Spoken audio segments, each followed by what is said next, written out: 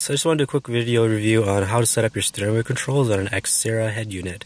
Um, is kind of the premium brand made by Dual.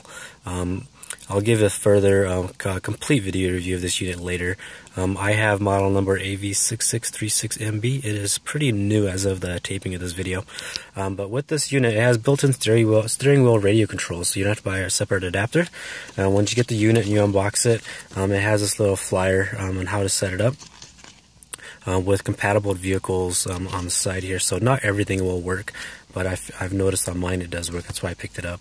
Um, so with this built-in uh, steering wheel control unit, there's three wires, a ground, a one, and a two. And then there's this chart with a list of possible connectors and then illustrations down below. Uh, what you want to do is locate your vehicle make and then locate your your uh, your pins or your uh, connectors on my Toyota, there I had three connectors. Um, if you don't know, most of these connectors are bespoke, so no two are alike.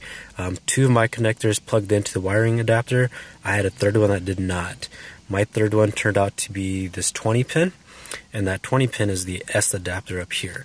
So I was looking at pins 7, 8, and 6. Now, if you follow the chart, um, pin 7 connects to um, steering wheel control, steering wheel wire 1 um, pin 8 to 2 and then pin 6 to the ground. So you just go ahead and tap those wires and then finish installing the rest of your head unit. Um, it took me a while to figure this out, why my buttons weren't working. I thought I misconnected something. I thought my vehicle wasn't supported, and it just took a lot of playing around as the directions don't really give you the best information.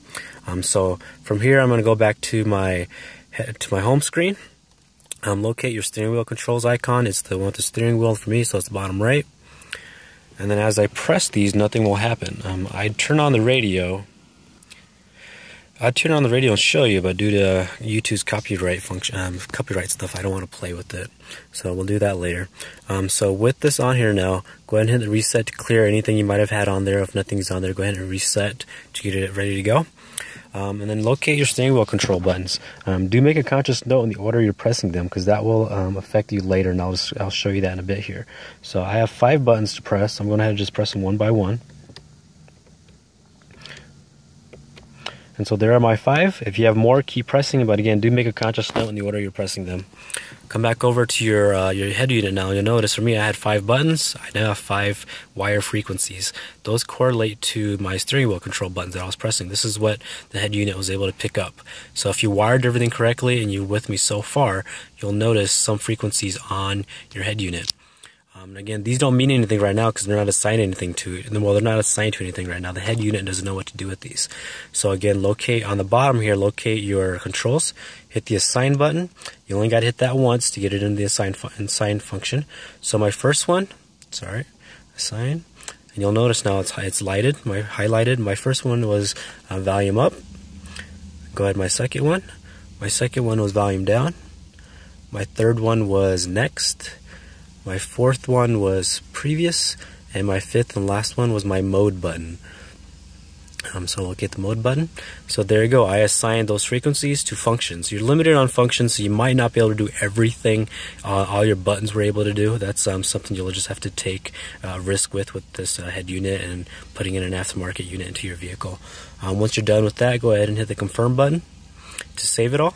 And now I'll just test it out. Again, I can't turn the volume up on anything, but I just want to show you it works. Um, I'm going to go ahead hit the home button. I'm going to go to the radio function. And so now I'm on my preset my preset frequency one. I'm just going to hit the next button. And you'll show it's flipped now to my second station, my third station, and back and forth.